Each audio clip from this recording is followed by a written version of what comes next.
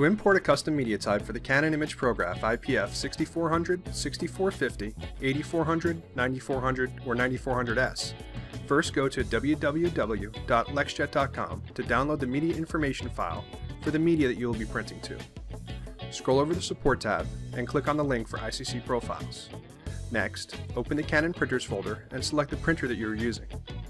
Next, open the Media Types folder and click on the link for the media type that you need to download. Save the media type to your desktop to locate it easily after download.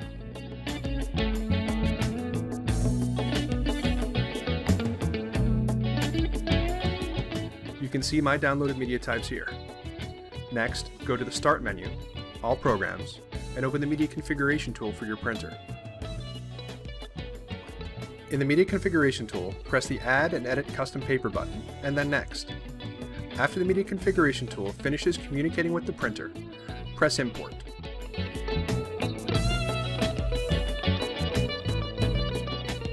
If necessary, browse to the desktop and select the media information file that was previously downloaded, and it will automatically populate. One of the new features of the Media Configuration tool is that you can import multiple media types at one time.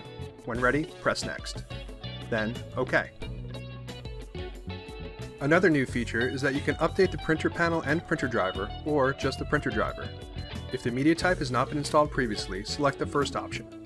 If the media type was previously installed on the printer, you can choose the printer driver only option to save time.